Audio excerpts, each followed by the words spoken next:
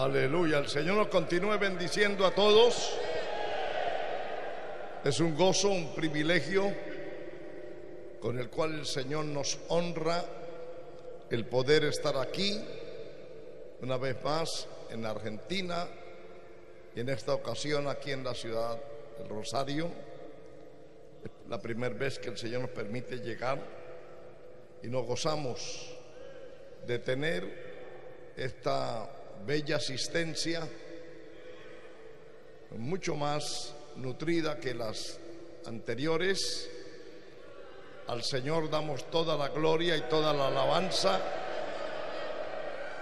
y nos gozamos de poder tener este privilegio de llegar hasta aquí para gozarnos juntamente con ustedes eh, en las alabanzas y en todo lo que Dios tiene ya de antemano listo para cada uno de nosotros. Solo nos resta estar atentos, receptivos, sedientos, con anhelos profundos de que Dios nos bendiga, de que Dios nos ministre, de que Dios trate con nuestra vida y podamos rendirle una vez más este año nuestro ser y decirle, Señor, cuenta conmigo, haz conmigo lo que te plazca o lo que tiene planificado para mi vida. Permíteme desarrollar ese proyecto. Gloria al Señor. Saludo también para los siervos del Señor aquí en la plataforma, el reverendo Arturo Soto, vicepresidente de la obra, que como ya él les hablara, pues hemos estado eh, ya en cinco convenciones con estas. Ha sido un poquito fuerte porque hay algunas convenciones que quedan muy continuas, por eso no pudimos llegar a Paraguay, porque habíamos estado días antes, tres días o cuatro días antes en Bolivia, pero veníamos ya de otras tres convenciones y usted sabe lo, a veces lo difícil, pues hay que pasar a veces horas en los aeropuertos, horas de vuelo, el cansancio, el asistir, el estar en un evento como esto, pues siempre trae cierto eh, eh, cansancio, pero lo hacemos con mucho gozo, con mucho anhelo sabiendo que estamos cumpliendo con el plan de Dios. Aleluya. Un saludo al pastor reverendo Gerardo Martínez también, supervisor del Cono Sur, que está con nosotros, al pastor Luis Rivera, supervisor de la obra allí en Paraguay, al pastor Fabio que viene de, de Uruguay con su esposa, pero también al reverendo Ismael Parrado, a su esposa, quienes saludamos también con mucho eh, amor, con mucho cariño y nos gozamos de poder estar aquí, ya que eh, les conocemos o nos conocemos mejor desde que estábamos iniciando este, este ministerio y sabemos cada uno por donde el Señor nos ha llevado este tiempo en la obra del Señor. Un saludo a todos los siervos del Señor aquí, oficiales de la obra, a todos los que son pastores, las, sus esposas, su familia, la familia pastoral, a toda la iglesia aquí reunida de diferentes lugares de aquí de Argentina, a las delegaciones que han venido de otras partes. De verdad que nos gozamos de poderles ver, de poderles saludar y de tener el honor de poder compartir con ustedes de la palabra del Señor. Amén. Un saludo también muy especial a todo el equipo de Betel Televisión que está haciendo posible que esta palabra y que esta convención pueda llegar a los confines del mundo.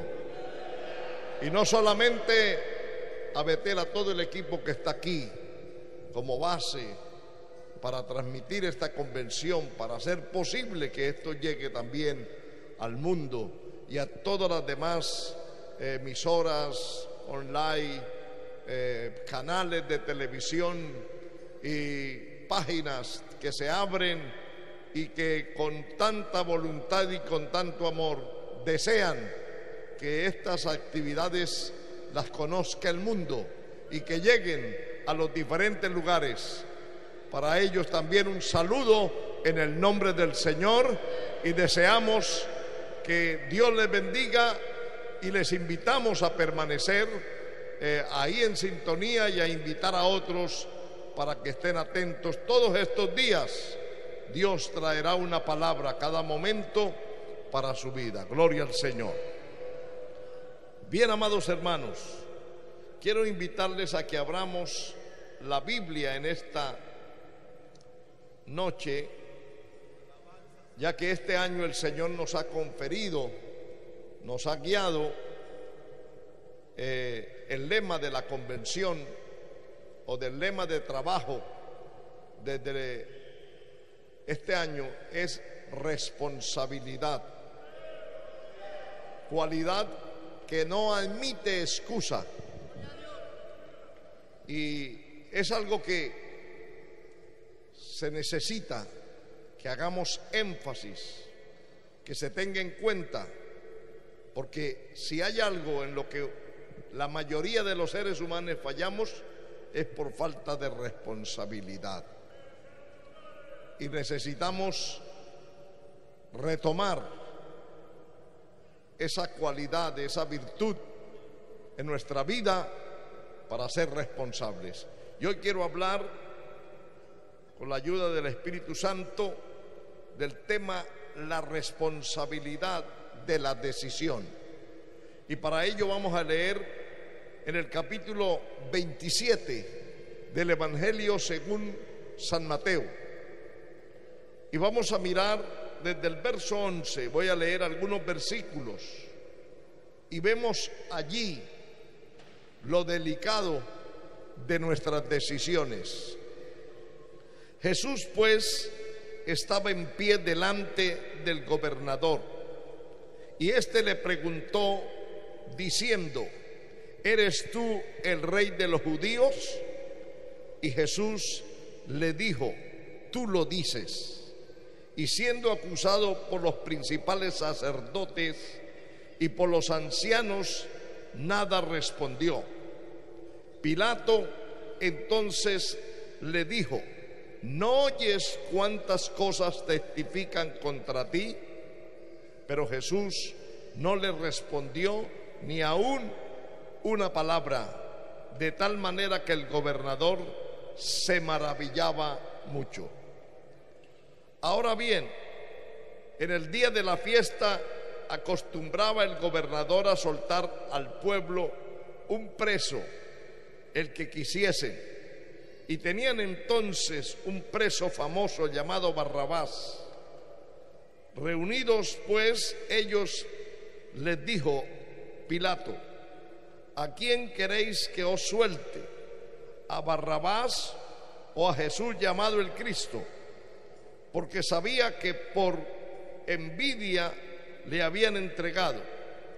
Y estando él sentado en el tribunal, su mujer le mandó decir, no tengas nada que ver con ese justo, porque hoy he padecido mucho en sueños por causa de él. Pero los principales sacerdotes y los ancianos persuadieron a la multitud que pidiese a Barrabás y que fuese y que Jesús fuese muerto. Y él respondiendo el gobernador les dijo, ¿a cuál de los dos queréis que os suelte? Y ellos dijeron, a Barrabás. Pilato les dijo, ¿qué pues haré de Jesús llamado el Cristo? Todos le dijeron, sea crucificado. Padre, gracias una vez más y te rogamos tu intervención, tu dirección a través de tu Espíritu Santo, usando esta palabra para edificación de nuestra vida. Señor, te pedimos que a través de la misma tu nombre sea glorificado y sea exaltado. Te ruego, Padre, que nos bendiga y que podamos con toda libertad hablar de esta palabra en esta hora. Permite, Señor, que esta palabra llegue a la vida de cada oyente a través de los medios, de cada televidente y de cada uno aquí presente, y que cada persona sea bendecida y edificada de una manera especial según la necesidad de cada uno. Padre, en tus manos pongo mi vida y te pido que la utilice como un instrumento simplemente porque todo el honor y la gloria te pertenece, Señor. En Cristo Jesús te damos toda honra y toda gloria. Amén. Tenga la bondad, amados hermanos, de tomar su lugar. Como dije, quiero hablar del tema la responsabilidad de la decisión. La responsabilidad es también un valor que guarda relación con asumir las consecuencias que nuestras decisiones pueden generar en nuestra vida y alrededor de aquellos que están con nosotros o que tenemos que ver con ellos. Dios a los hombres en todas las épocas, desde Adán, Dios le entregó responsabilidades, le dijo lo que tenía que hacer, lo que tenía que guardar, lo que tenía que obedecer y de lo que no tenía que hacer. Y usted puede ver desde el primer instante, el hombre decidió mal y tuvo que recibir las consecuencias de una mala decisión, de no elegir sabiamente, de no elegir bajo la dirección y la obediencia de la palabra y de los mandamientos que de antemano ya Dios le había dado. Eso nos lleva a ver que Dios le ha dado a todos los hombres responsabilidades. Eh, pero usted y yo decidimos obedecer o no cumplir o no. Como hermano mayor, Caín tenía el deber de velar por su hermano. Y por eso es que el Señor le dice, Caín, ¿dónde está Abel tu hermano? Lo hace responsable de su hermano, del cuidado de él y de la vida de él. Porque luego le dice, cuando él saca excusas, evade esta responsabilidad, según él, entonces Dios le dice, la sangre de tu hermano Abel clama a mí desde la tierra. Es diciendo, usted le ha matado y por ello debe pagar, porque él sabía que no debía actuar de la manera que lo hizo. Gloria al Señor. Así que cada persona en su momento, sea dentro de la iglesia o fuera de la iglesia, tenemos un día que responder por lo que el Señor nos otorgó, por lo que el Señor nos permitió, ya que cada privilegio requiere responsabilidad. Porque si asumimos o recibimos un privilegio, pero no actuamos responsablemente, usted ve el caos, el desorden y lo que puede hacerse en cualquier lugar. Somos responsables como padres de familia, somos responsables como hijos, somos responsables como hermanos, somos responsables como vecinos, somos responsables como ciudadanos, somos responsables en lo social, somos responsables de la vida espiritual de todos los seres humanos, porque la Biblia dice que la iglesia ha sido comisionada para dar las buenas nuevas, para anunciar el peligro, pero también hablar de lo maravilloso que es la salvación. Es decir, que la iglesia está aquí en la tierra como una atalaya. Amén. Y si el atalaya no anunciare cuando se acerca el peligro, cuando viene el enemigo, entonces el responsable de lo que pase es aquel que fue puesto para dar la buena nueva o para anunciar, pero no lo hizo porque fue irresponsable, porque se descuidó, porque se entretuvo en otras cosas, porque le dio prioridad a otras cosas, porque ignoró el trabajo que el enemigo venía haciendo y siguiendo donde él estaba y debía responder. Así que la persona responsable, la persona que toma en serio cada responsabilidad, cada privilegio, sea como padre, como esposo, sea como gobernante, como es el caso que nos ocupa esta noche aquí, sea como pastor, en cualquier otro área de liderazgo, somos responsables y debemos saber de antemano que cada decisión trae consecuencias, que las consecuencias vendrán o para bien o para mal. Nos llevarán a la bendición, a la prosperidad, nos llevarán al bienestar, nos llevarán a disfrutar de muchas cosas agradables y, que son bendición y que el Señor nos las otorga, o nos llevará al fracaso, a la ruina y a otras cosas que todos sabemos que eso sucede.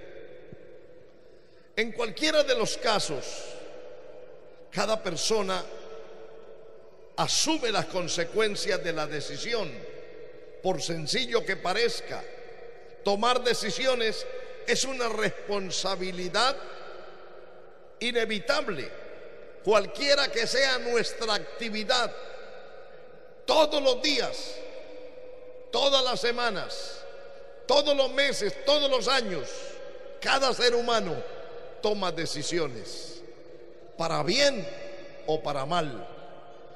Decisiones que nos acercan a Dios, que nos llevan al crecimiento, al desarrollo ministerial, que nos amplían la visión, o decisiones que nos llevan a menguar, decisiones que nos llevan al debilitamiento Decisiones que nos llevan a, afectarnos. Y entonces comenzamos a ver los resultados en nuestro hogar, con nuestros hijos, con nuestra esposa. Comenzamos a ver los resultados dentro de la iglesia si somos líderes espirituales. Comenzamos a ver los resultados tal vez allá en la empresa donde usted labora y comienza a deteriorarse, entra el desánimo, entra la desunión, entran los problemas, quizás se pudieron haber evitado, quizás no deberían haberse suscitado, pero se suscitaron el día que usted decidió o yo decidí mal que no actúe bajo la dirección de Dios, como fue el caso de Josué, que lo vemos muy claro, cuando el Señor le dice, aquí está el éxito, el secreto en tu liderazgo. Meditarás en este libro de la ley de día y de noche. Hará conforme a lo que está escrito aquí. Y si hace conforme a lo que está aquí escrito, hará prosperar tu camino. Y todo lo que emprenda te saldrá bien. Seguramente él dijo, está bien, comenzó bien, estaba haciendo las cosas bien. Usted mira el paso del Jordán, perfecto. La toma de Jericó, perfecto. ¿Verdad? Pero usted ve que hubo un error. Y es que, primero, no se consultó a Dios. Se falló en no consultar a Dios. Segundo, se confiaron del informe de los espías. Tercero, menospreciaron o tuvieron en poco las capacidades del enemigo. Y eso los llevó a tener que huir y a perder unos cuantos hombres de su pueblo. Y este hombre seguramente se acordó de la promesa de lo que Dios le había dicho, nadie te hará frente. Nadie te hará frente. Porque a veces nos acordamos de lo que nos conviene, de lo que nos favorece a nosotros. Eso queda latente en nuestra mente y en nuestro corazón. Pero se nos olvida lo que tenemos que hacer nosotros, lo que tenemos que cumplir, lo que tenemos que llenar nosotros para que eso suceda.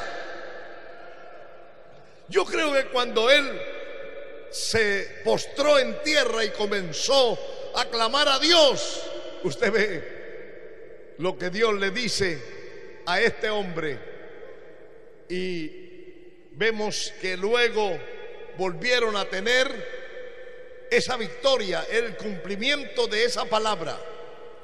Pero vinieron los de los gabaonitas y tampoco consultaron a Dios y volvieron a ser engañados. Fueron engañados en esta ocasión. Y fue algo al tomar una decisión sin consultar a Dios. Solamente juzgaron por lo que vieron, por la apariencia y por lo que escucharon. A veces no vemos problema en actuar por lo que oímos o por lo que vemos. Y por eso tomamos decisiones, decisiones como esta, que quedaron por muchos años en el pueblo del Señor. Y estos que ellos perdonaron fueron como una espina en el costado de este pueblo, de esta nación. Y cada vez que esto ocurría, seguramente no faltaría quien pensara y dijera, estas son las consecuencias de que nuestro líder no decidió sabiamente, no hizo lo que tenía que hacer. Es decir, que cualquiera que sean las decisiones, vamos a ser bendecidos, vamos a ser ayudados o vamos a también a ser eh, afectados. Gloria al Señor, amén. Dios además también nos ha dado libertad y capacidad para escoger. Tenemos la capacidad de, de escoger, de actuar por nosotros mismos. Amén. Gloria al Señor. Por ejemplo, usted puede amar al que quiera amar, pero puede aborrecer al que usted quiera aborrecer. Usted puede ayudar al que usted quiera, pero también puede despreciar al que usted quiera y no ayudarlo, no auxiliarlo. Y esa es una decisión que el Señor nos ha dejado. Gloria al Señor, pero de todo eso el Señor nos llamará a cuenta. Porque aquel día nos dirá el Señor, tuve hambre. ¿Y qué dice? No me diste de comer. Estuve enfermo y no me auxilió. Estuve preso y no me visitó. Estuve desnudo y no me cubriste. Y el, el hombre va a decir, pero ¿cuándo, Señor? Porque él está imaginándose que hubiera hecho todo por hacer ello con el Señor. Dice, ¿cuándo, Señor? Te vimos en esa condición y no hicimos lo que teníamos que hacer. Y le dice, por cuanto no lo hiciste con uno de esos pequeñitos, tampoco conmigo lo habéis hecho. ¿Se da cuenta usted? ¿Qué dice también la Biblia? Que de toda palabra ociosa, esas cosas que a veces decimos por ociosidad, de ello también tendremos que dar cuenta a Dios. Y si tendremos que dar cuenta, o tenemos que dar cuenta, por palabras ociosas que se escaparon de nuestra boca, ¿cuánto más por aquellas que causaron bien o causaron mal? Gloria al Señor para siempre. Así que el hombre tiene esa facultad de aceptar o de rechazar. Pero por el hecho de que cada uno individualmente toma la decisión, eso no le exime ante Dios de la responsabilidad de un día responder ante Él. Gloria al Señor. Por eso Josué, y usted lo puede ver en la palabra del Señor en el capítulo 24, cuando Él llama al pueblo y le dice, en el verso 15, dice, y si mal os parece servir a Jehová, escogeos hoy a quien sirváis, si a los dioses a quienes sirvieron vuestros padres cuando estuvieron al otro lado del río, o a los dioses de los amorreos en cuya tierra habitáis. Pero yo y mi casa serviremos a Jehová.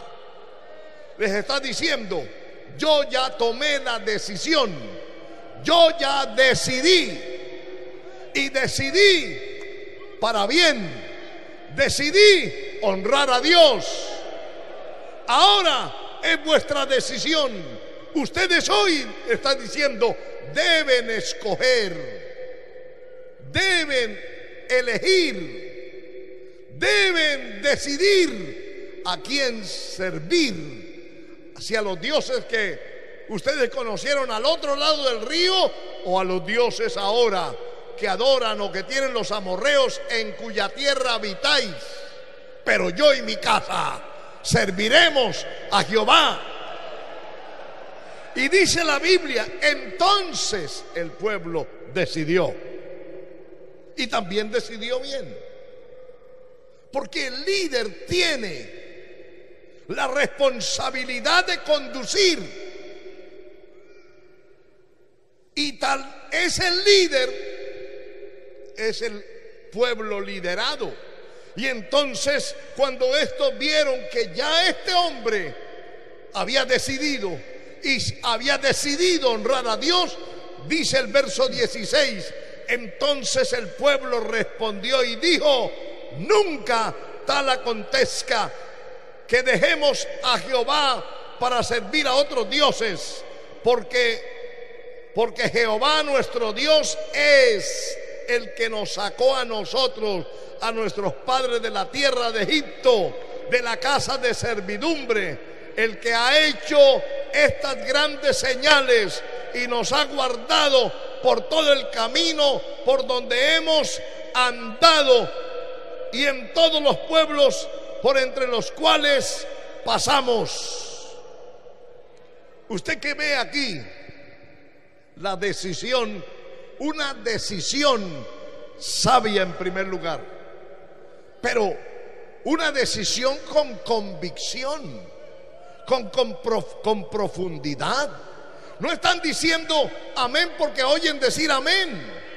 No están diciendo sí vamos a servir a Dios porque Josué dijo que había decidido.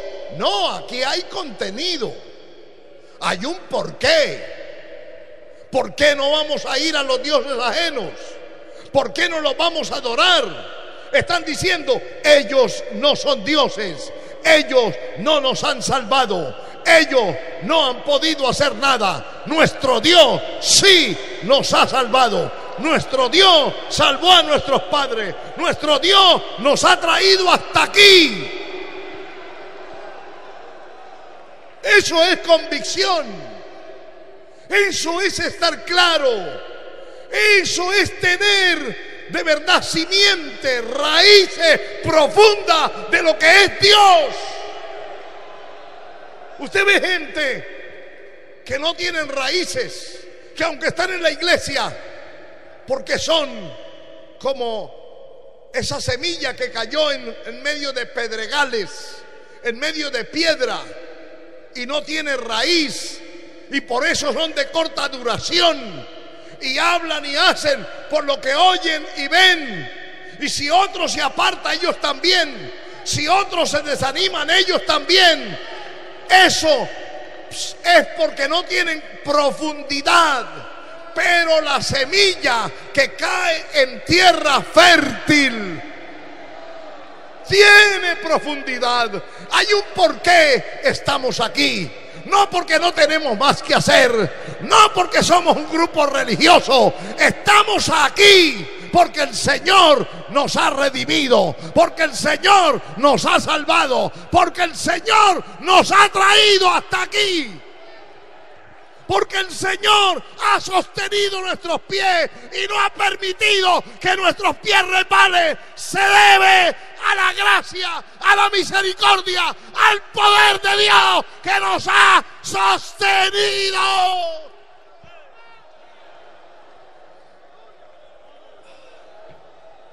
Aleluya. ¡Oh,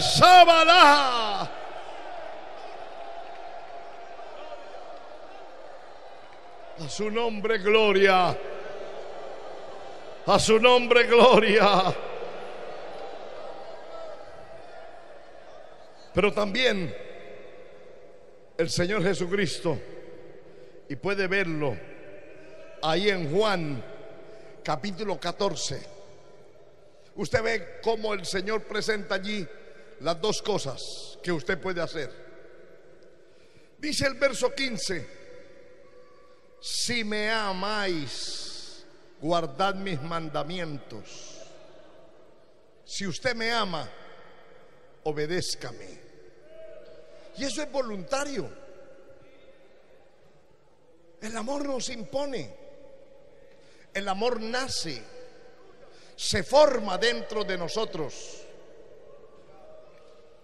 Además, el amor de Dios, según Romanos capítulo 5, verso 5, es derramado por el Espíritu Santo en nuestros corazones. Por eso es que el amor a Dios no nos avergüenza. No nos importa lo que diga la gente. No nos importa lo que venga en contra nuestra. Porque el amor que ha sido derramado en su corazón y en mi corazón es mayor que cualquier ataque de las tinieblas. Y él dice, si me amáis, guardad mis mandamientos. Alabanzas al Señor. El verso 23 dice, del capítulo 14 de Juan, respondió Jesús y les dijo, el que me ama, mi palabra guardará, y mi Padre le amará, y vendremos a él y haremos morada con Él. El que me ama, guarda mi palabra. Y al guardar la palabra, honrar la palabra, mi Padre también le honra. Y vendremos, no lo arrastraremos, vendremos. Eso es caminar libremente. Eso es acercarse a Dios. Amén.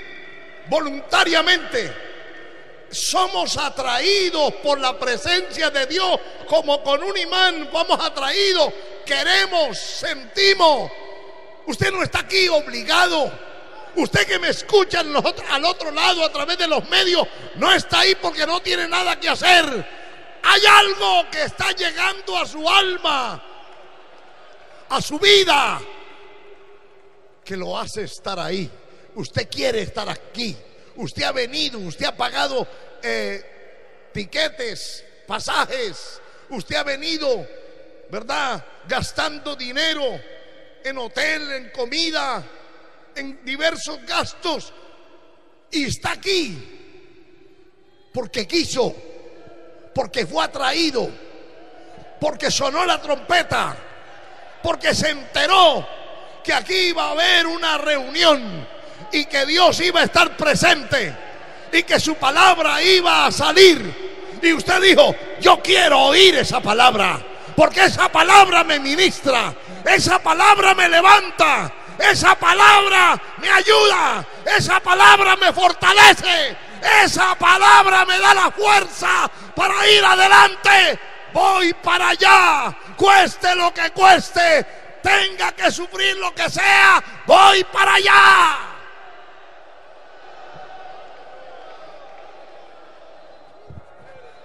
mi Padre le amará y vendremos a Él y haremos morada con Él.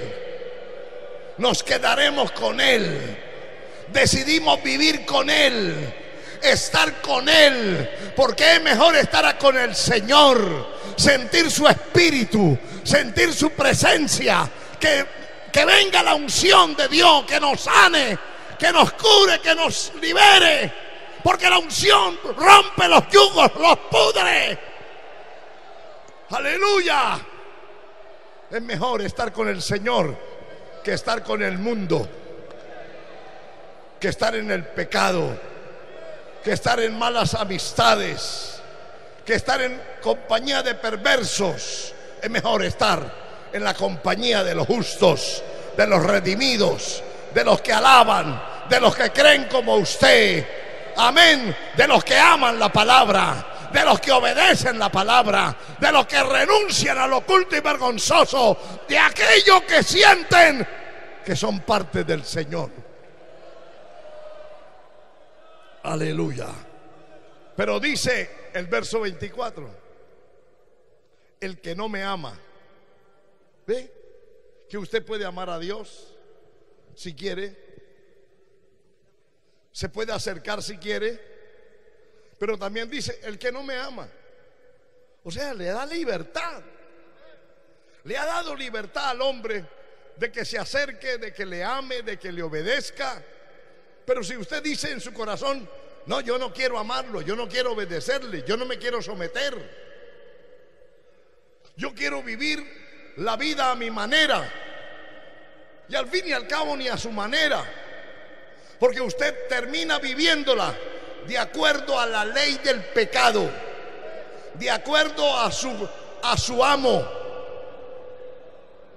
No es tanto lo suyo, es lo de su amo.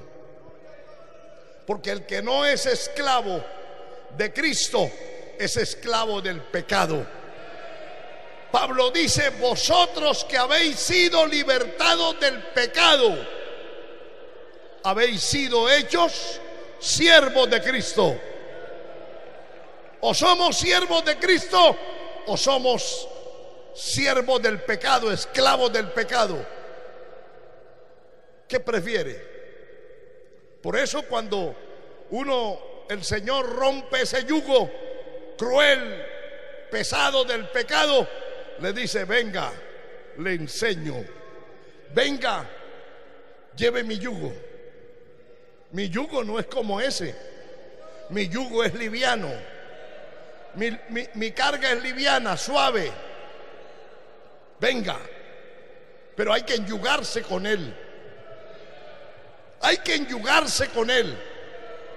Hay que seguir con Él. Si no hay eso, no es posible. Por eso el Señor dice, el que quiere venir en pos de mí, niéguese. Y eso de que quiere venir habla y descarta toda posibilidad de que Él nos trate como un robot. Y que, porque la gente dice, bueno, y si sabe el Señor que iba a pecar el hombre, ¿por qué no lo condicionó y lo le quitó cualquier idea de pensar en otra cosa? No, es que era como una máquina. Y Dios le dio libertad y creó al hombre semejante a Él. Amén. Por eso cuando le delegó responsabilidad, porque decía, hay alguien en el universo responsable, es Dios. Amén. Usted ve que dice, el cielo y la tierra pueden dejar de existir, pero mi palabra no podrá dejar de cumplirse. Tiene una responsabilidad. Se ha responsabilizado con su palabra y con todo su plan y con todo lo que Él ha establecido y Él lo seguirá hasta el final. Por la eternidad estará ese plan, esa palabra. No, Él no, no es como nosotros. Él es inmutable, sin sombra, sin variación. Él no es de doble ánimo. Él no, él no se mueve por las emociones. Él es inmutable. Es el mismo de ayer, de hoy y por los siglos. Así que, amados, somos responsables de nuestras decisiones que tomemos y vamos a ver algunas cosas en la vida de este gobernador llamado Pilato.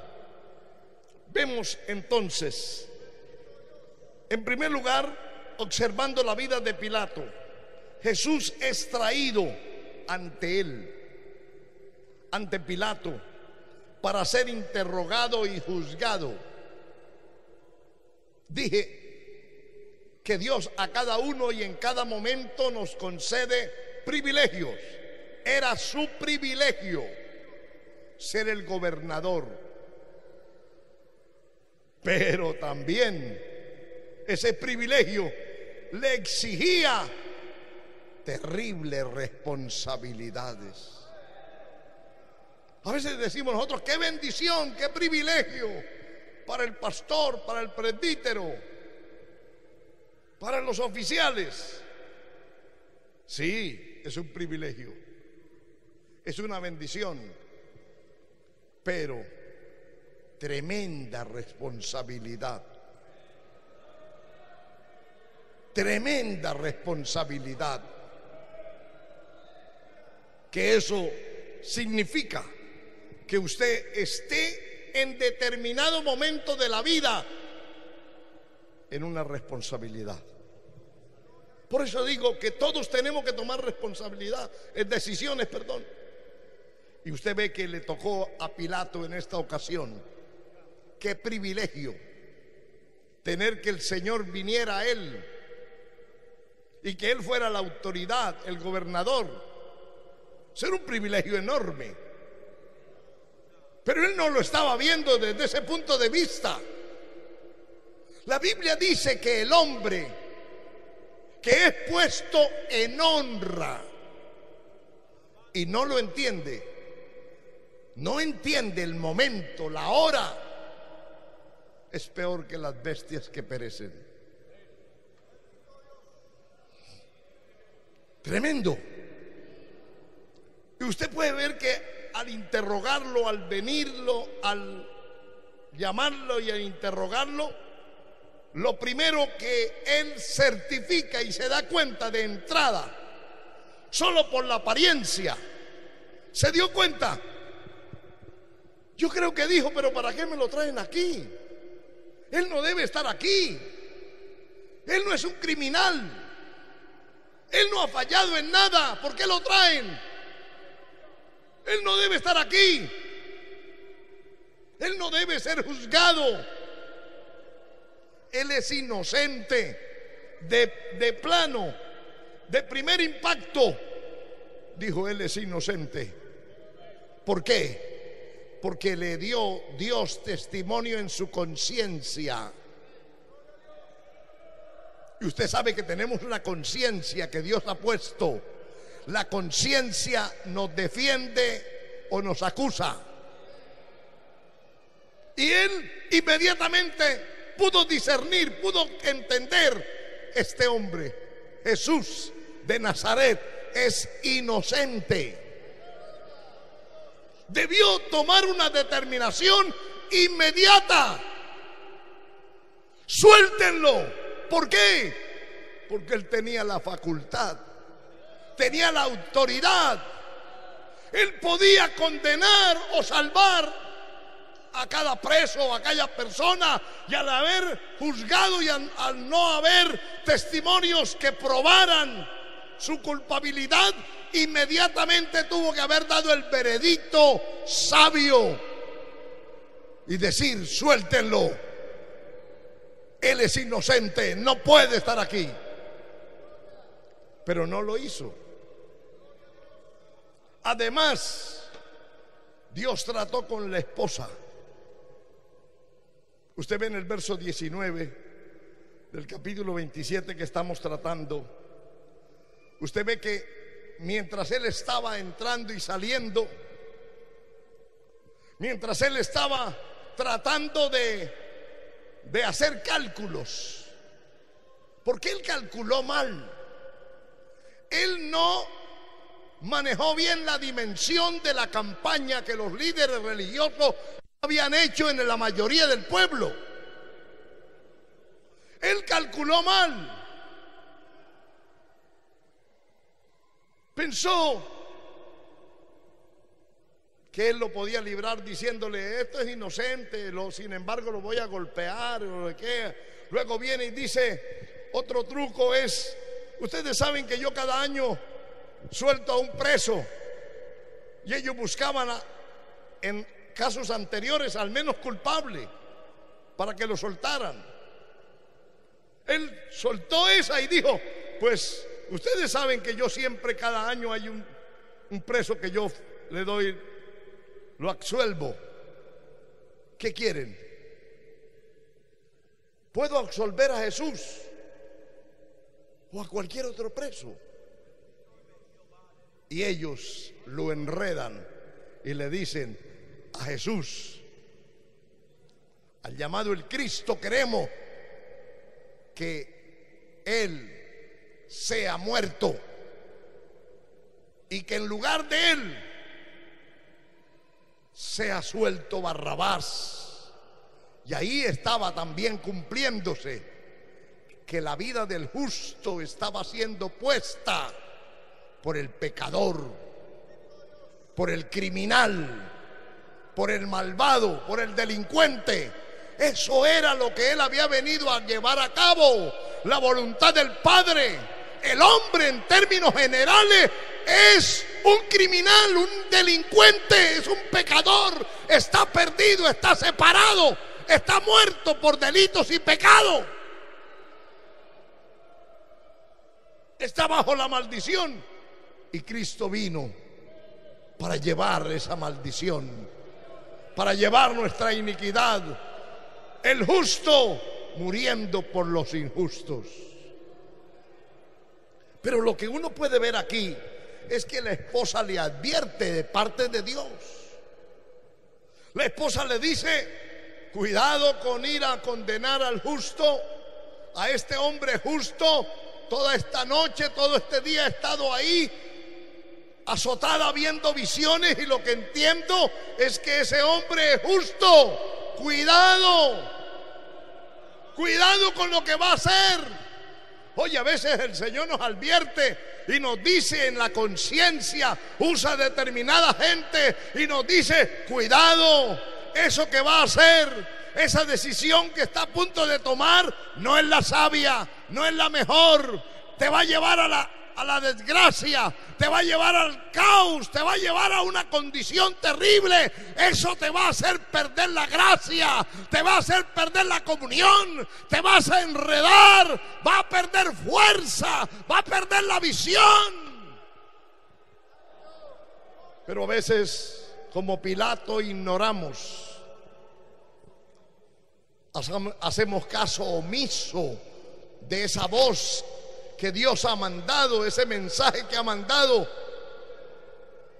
que nos abstengamos, de que no hagamos las cosas a la ligera, de que tengamos personalidad, de que tengamos madurez, de que seamos hombres maduros, serios, que no nos dejemos presionar y empujar a tomar decisiones y hacer cosas que no nos convienen. Que no nos dejemos llevar por nuestro ego, por nuestro orgullo, por nuestro yo, por nuestra prepotencia. Yo soy el líder, yo soy el pastor, yo soy fulano y yo puedo hacer de aquí lo que quiera. Cuidado con eso.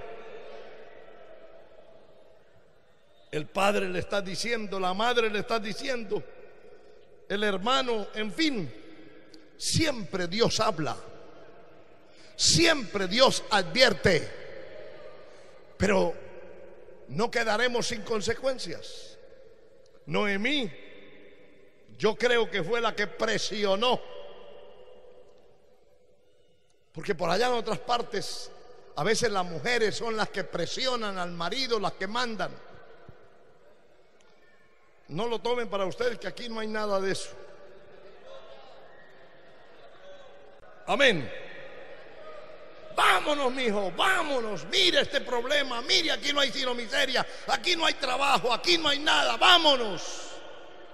Y se fueron de Belén, que se llama casa de pan, para el territorio de Moab, que significa casa de demonios. Dejaron el lugar que Dios los había puesto. Dejaron la voluntad de Dios. Tomaron la decisión. Tuvieron unos años allí. Sus hijos se emparentaron con mujeres moabitas. Murió Elimelech, que era el marido de Noemí. Murieron los dos hijos. Y se dio cuenta, dijo, esto no estuvo bien no fue lo mejor que hice. Ella tuvo, cayó el peso de toda su decisión sobre ella. Porque ella tuvo que ver morir a su esposo, morir a sus hijos y quedar sola, desamparada. Y cuando la vieron llegar, tal vez su semblante el rostro, la manera, cómo esos años, esos 10 años habían pasado tan profundamente, no solamente en lo físico, sino adentro de ella, que estaba como desfigurada y todo el mundo se admiraba y decía, esa es, esa es Noemí. Ay, pobrecita. Y tal vez corrían a abrazarla y a llorar con ella. Y ella tuvo que decir, no, no, no me digan más Noemí. Dígame Mara, llámeme Mara, cámbieme en el nombre. Porque yo no estoy como me fui. Ustedes saben cómo era yo aquí, cómo vivía aquí, cómo, cómo estaba aquí. Pero ahora he regresado porque Jehová me ha regresado con las manos vacías. Está hablando de lo que estaba ya en su corazón. Dice, lo perdí todo, lo dejé todo. Fue una mala decisión. Ahora estoy vacía, ahora no tengo nada. La única esperanza es que yo allá estando en los campos de Moab oí oí la noticia. Hasta mí llegó que Jehová había bendecido los campos de Belén. Por eso estoy aquí, porque oí que Dios había visitado a su pueblo. Dios siempre visita a su pueblo. Dios siempre visita a su nación. Dios siempre visita a su iglesia. Cuando la persona, aunque haya fallado, se vuelve a Dios en arrepentimiento, pide misericordia, Dios, Dios visita, Dios bendice, Dios santifica, Dios llena, Dios levanta, Dios libera, Dios da cosas grandes.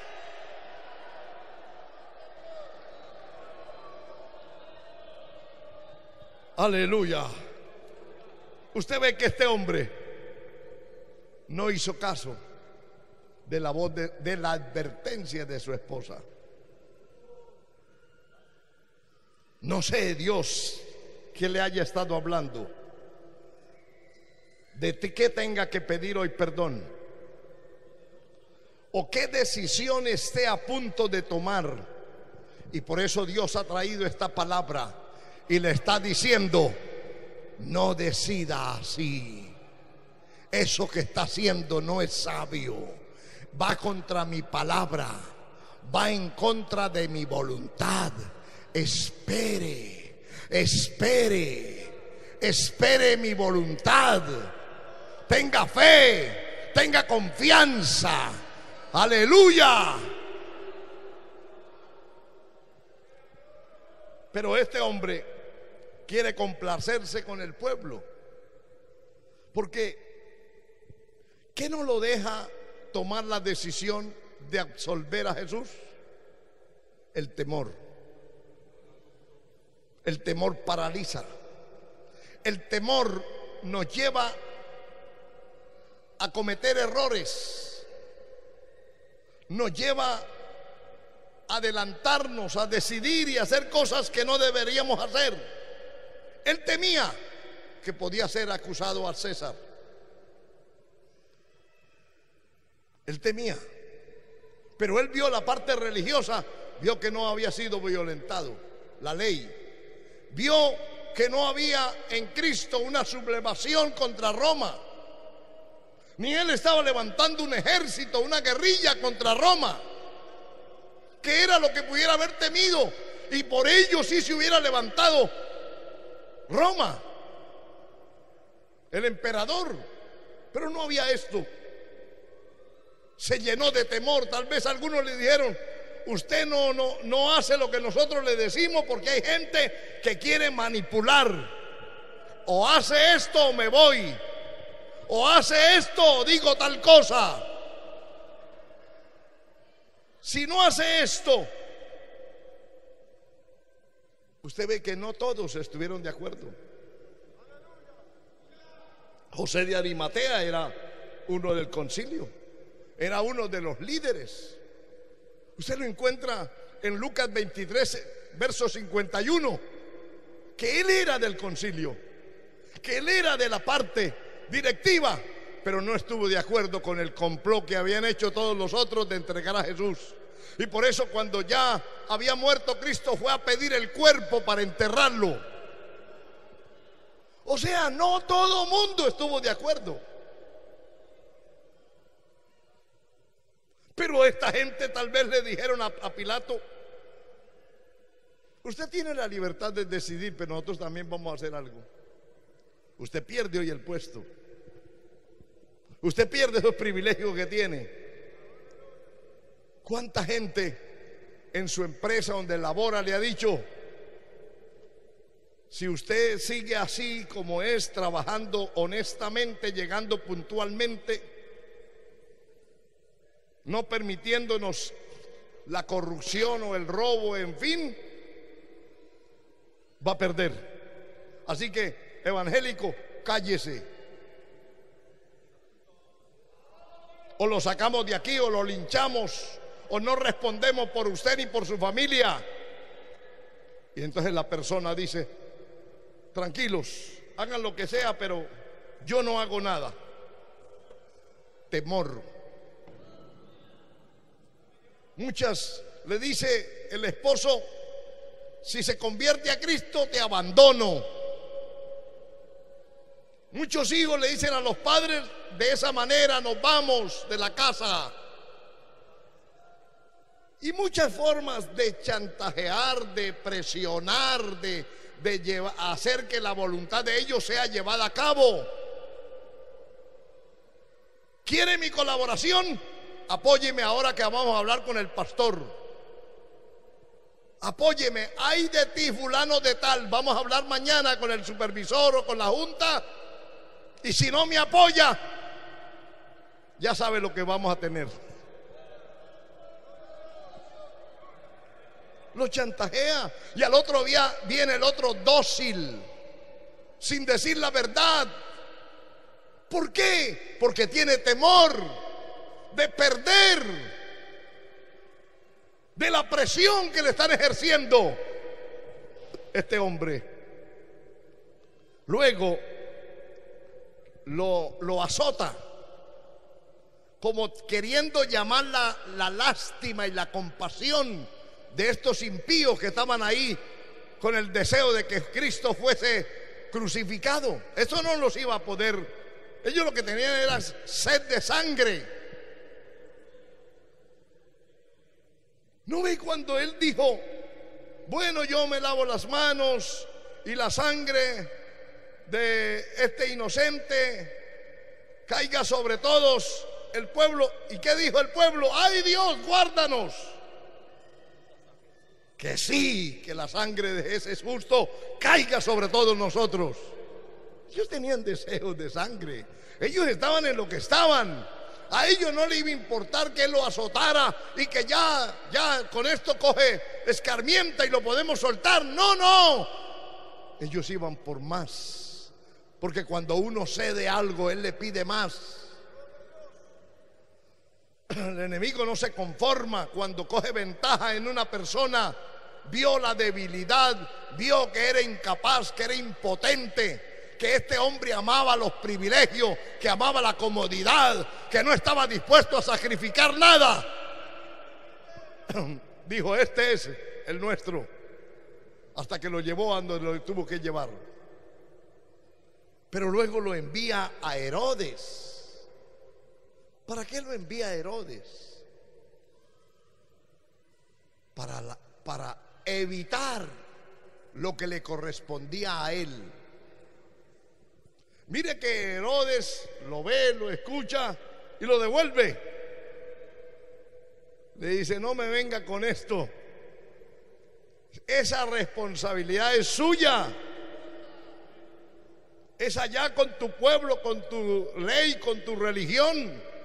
Yo no tengo nada que ver en esto. Yo no veo ningún delito político. Así que se lo devolvió. Y él lo estaba dirigiendo, remitiendo a Herodes, solo para evitar la responsabilidad. Solo porque no quería decidir. Él sabía lo que tenía que hacer desde el primer momento. Pero, pero mire todas estas cosas que, todas estas vueltas que él trata de darle, solo evitando decidir bien. A la final decidió mal, siempre lo entregó, por más que decía, este es justo. Y luego dice, viendo Pilato que nada adelantaba, sino que se hacía más alboroto, tomó agua, se lavó las manos delante del pueblo diciendo, inocente soy yo de la sangre de este justo, allá vosotros. Era una costumbre de que cuando había un caso difícil, entonces se hacía de esta manera, pero realmente para demostrar que él era inocente y que si se obraba arbitrariamente, esa persona quedaba sin culpa. Pero en el caso de Cristo no porque él, usted ve que lo había dicho ya en el verso 22. Pilato les dijo, ¿qué pues, qué pues haré de Jesús llamado el Cristo? Era algo, era algo que él no podía, no sabía qué hacer. Y sabe que esa pregunta no solamente ha surgido en Pilato, ¿qué haré de Jesús? surge en la mente, en el corazón de todo el que oye el Evangelio, de todo el que oye la palabra de Cristo, desde el momento que escuchó el Evangelio. Desde ese momento o se rechaza o se recibe a Cristo. Y entonces la gente como no quiere, se sienten, ¿qué haré? ¿Cómo haré? ¿Cuántos creyentes descarriados están diciendo, ¿qué haré? ¿Cómo me saco estos pensamientos? ¿Cómo me saco esta semilla? ¿Cómo me saco estos principios? ¿Cómo dejo de pensar en Dios? ¿Cómo dejo de, recordarme de la palabra? ¿Cómo dejo de acordarme cuando yo estaba en la casa de Dios? Por eso la gente cuando se descarría dice, no me hablen, no quiero evangélicos en mi casa, no quiero que nadie venga, se aíslan, no hablan con nadie, cambian, el número telefónico. Y si ve que viene alguien de allá conocido de la iglesia y ellos pueden evadirlo, lo evaden porque no quieren hablar con nadie, porque eso es un problema para ellos. Descarriado que me escucha, que me ve en esta hora, que oye esta palabra, tiene que decidir hoy o rechaza a Cristo o se rinde a Dios. Hermano joven, usted tiene que decidir esta noche se consagra a Cristo o define ser un mundano. Porque usted está en dos aguas y no puede estar entre dos pensamientos. O acepta a Cristo, se rinde a Cristo y viene y le dice, heme aquí, envíame a mí, yo te quiero servir, yo estoy aquí para que tú hagas conmigo lo que quieras o le dice esta noche, te rechazo, niego mi vida, niego mi juventud, niego, no me consagro, no quiero consagrarme, me voy a buscar el mundo, voy a vivir para el mundo. Hoy tiene que usted decírselo, joven, caballero, señorita, usted tiene que decidir hoy ¿Qué va a hacer con Cristo? ¿Qué va a hacer con esta palabra? Hay responsabilidad por sus decisiones. Serán para bien o para mal. Esta noche el Señor te llama a que decida. Él le dijo al pueblo de Israel, a los cielos y a la tierra llamo por testigo que os he puesto hoy la vida y he puesto la muerte. Escoge pues la vida para que viva eternamente. Levántese usted. Hoy es tu decisión. Decida hoy salir de la tibieza, del conformismo, de la mundanalidad, de la indiferencia. Oh, aleluya. Hoy es el día de decisión. Dios te llamará. Dios te hará responsable por esta palabra en esta noche. Usted, hermano televidente, usted que nos sigue a través de las redes sociales, usted que está allá en cualquier lugar del mundo, defina hoy su condición espiritual. Decida hoy a quién servir. Decida hoy para quién va a vivir. Decida hoy a quién se va a consagrar, para quién usted va a vivir de aquí en adelante. Decida hoy, deja que el Espíritu de Dios te redagulla, te lleve esta palabra a lo íntimo de su alma, de su corazón.